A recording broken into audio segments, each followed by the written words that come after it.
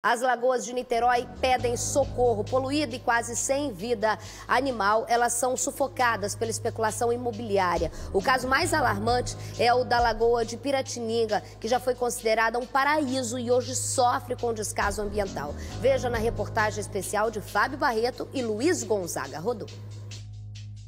Passa na beira da lagoa, não tem peixinho para eles comer, estão comendo rato. Como eu presenciei esses dias, a garça pegando o rato para se alimentar. Uma lagoa que agoniza. Há dois anos atrás, meu marido ainda pescava camarão.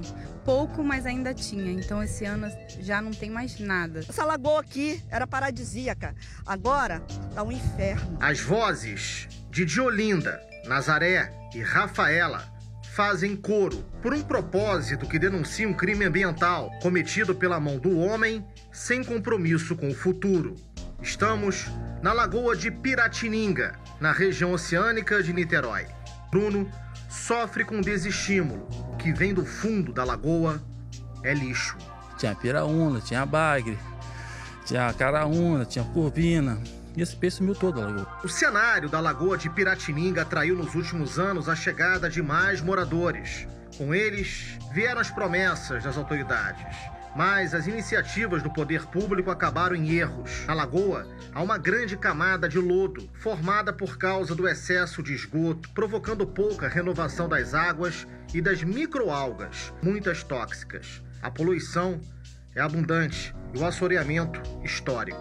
Por dentro da mata, nossa câmera traz a reportagem o ativista ambiental Paulo Oberlander. Ele nos leva a um lugar sombrio. Trata-se de um túnel que foi aberto pelos operários da prefeitura para escoar todo o material da construção de um canal. Há cerca de cinco meses houve um desmoronamento e com esse problema a lagoa parou de receber a água do mar.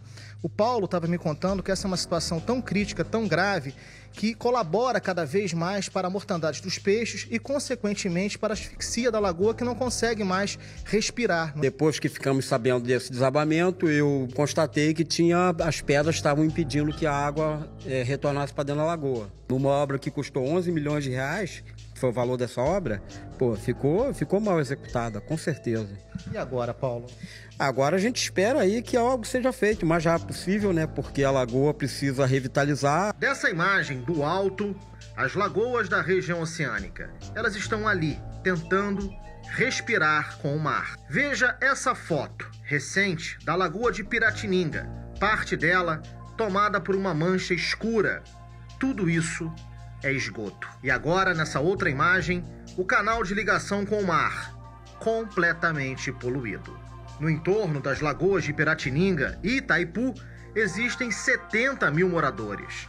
Entre milhares de construções, existem 5 mil casas que não estão ligadas à rede de saneamento básico. Estudos de biólogos mostram que a falta de tratamento de esgoto equivale a 1.900 toneladas de esgoto por ano, 190 caminhões carregados de detritos jogados na lagoa. Não adianta é, a gente pensar a renovação da água, que é o que está sendo discutido aqui com o bloqueio do túnel, sem parar de despejar esgoto na lagoa. Né? E a grande responsável por isso, pelo esgoto da lagoa, hoje é a Água de Niterói né? E sob a fiscalização do, da prefeitura, que tem um convênio com o INEA é, para fazer a gestão dessas lagoas. Né? Então a gente está cobrando aqui a responsabilidade, tanto no tratamento, uma cidade que pretende ano que vem atingir 100% de tratamento de esgoto, ainda continuar poluindo a lagoa. Não é a primeira vez que o SBT Rio mostrou em reportagens especiais